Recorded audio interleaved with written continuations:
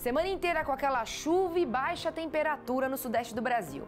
A vantagem da gente ter uma frente fria e muita instabilidade é que a gente tira o risco de geada para as áreas produtoras. Porque para a gente ter geada precisa de uma condição de céu claro, não só ar frio, tá? É, se você tiver aí também um pouco de instabilidade, você tira esse risco de geada das lavouras. A gente observa que as mínimas não são tão baixas assim, justamente porque a cobertura de nuvens segura um pouco mais mais a temperatura para ela não despencar.